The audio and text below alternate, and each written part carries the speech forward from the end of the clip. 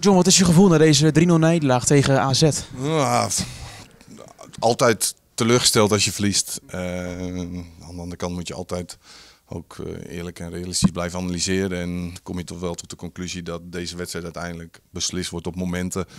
En de momenten waar ik over, over doel is, die zijn niet in ons voordeel geweest vandaag. En, en dat, is, dat is jammer, omdat ja, we hadden ervoor gekozen om, uh, om AZ goed onder druk te zetten, agressief. Dat lukte en van daaruit probeerden we de, de, de ruimte achter de laatste lijn van AZ. Omdat ik vind dat dat misschien wel de kans op ja, op een kans of een goal groot, groot in was. En ja, dat lukte, want Simon die komt op dit, op dit vlak, op dit moment zeg maar, of met dit moment één keer helemaal één op één op, op Bizot. En jammer dat hij een slechte aanname heeft, waardoor het niet 1-0 wordt. En ja, dan zie je dat uiteindelijk de, de, de 1-0 of de 0-1 moet je dan zeggen, met een beetje lucky. En dat is wat ik bedoel met een moment van een richting veranderd schot die binnenvalt. Uh, ja, 2-0 spelen ze goed onderuit. Hè. Ze blijven voetballen. Daar hebben ze ook kwaliteit voor, dat wisten we. Uh, verdedigen dat niet helemaal goed, vind ik. En wordt dat mooi afgemaakt. Dan sta je in één keer met 2-0 achter. En ja, die teleurstelling en dat feit was wel, uh, was wel een tikkie. Je hoopt in de rust de jongens daar weer uh, bij de les te krijgen om uh, op jacht te gaan naar de 2-1. Omdat je weet ook als we aansluiting krijgen naar het eigen vak, dan het eigen stadion richting je eigen supporters dat het dan ja, misschien ook maar weer zo om kan slaan. Alleen. Dat is gelukt. Het was, dat was gelukt, alleen niet gelukt in die zin dat we, dat we scoorden. En ja, dat was jammer, want je kopt op de paal of op de lat was het. En uh, ja, dat is jammer dat die bal niet binnen, binnen gaat. Dan wordt het 2-1.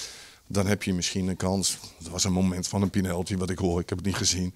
Maar ja, dat zijn de momenten dat het, wat ik in het begin eigenlijk zei, dat het allemaal niet, uh, niet mee zat. En die bal die uit de lat uh, terug het veld invalt. Volgens mij krijgt, krijgt AZ daar de counter mee en maken ze de, de 3-0. En ja, het was wel klaar.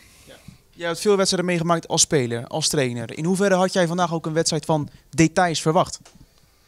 Nee, maar elke wedstrijd wordt beslist op details. Uh, en dat gaat erom.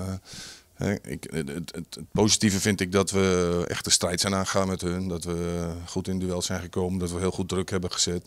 Wat niet makkelijk is, laten we dat voorop stellen tegen een ploeg die eh, makkelijk eronderuit kan voetballen. Dus dat, dat, dat, dan verwacht je en dan vraag je dus heel veel van, uh, van basisdingen bij die jongens. Dat ze maximaal gaan. Dat hebben ze heel goed gedaan.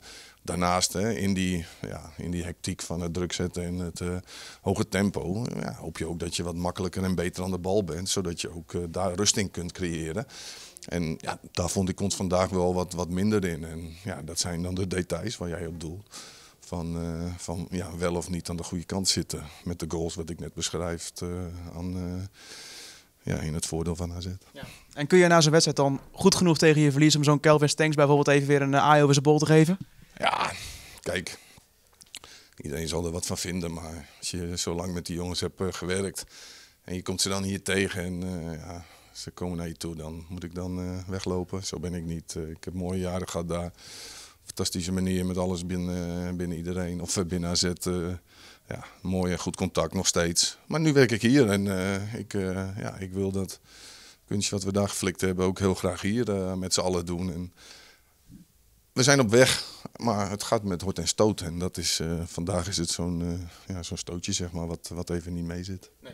Je hebt nu een keer verloren van de nummer 1, nu van de nummer 2, hè, achter elkaar. wat kun je daaruit concluderen?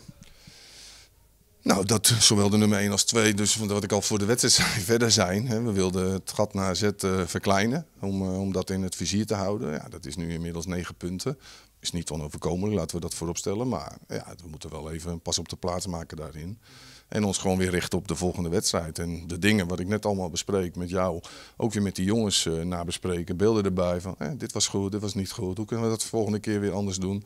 Zodat we de momenten, daar kom je weer, ja, in ons voordeel kunnen laten beslissen. Ja, en dan die mooie details in het voordeel uh, doen laten blijken tegen uh, RKC Waalwijk. Ja, dat is de eerste komende.